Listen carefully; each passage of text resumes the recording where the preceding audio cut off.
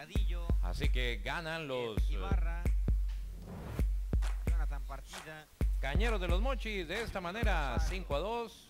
Cuarta entrada. Ahí cimentaron la victoria el día de hoy. Eh, con este imparable jardín central, Chuito Arredondo se traía la primera carrera de esa cuarta entrada.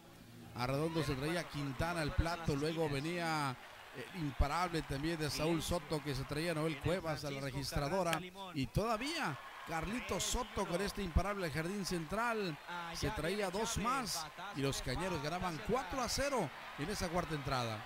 Ahí le dieron rumbo al juego y un gran apoyo para Kiala. Joan Isquiala llega a tres victorias en la temporada. Todavía traerían una más con dos outs. Leandro Castro la produce.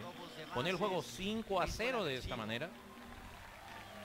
Tremendo ajuste de parte de el señor Leandro Castro ante el picheo quebrado. Ahí vendría el ataque del equipo de los Sultanes de Monterrey. Se quedaron cortos, pero lograron esto. Sergio Pérez las trajo a casa. Sí, se trajo a Ismael Salas y a Michael Wynn con ese imparable jardín central y ponían esta pizarra, pizarra final de cinco carreras a dos. Victoria para los cañeros.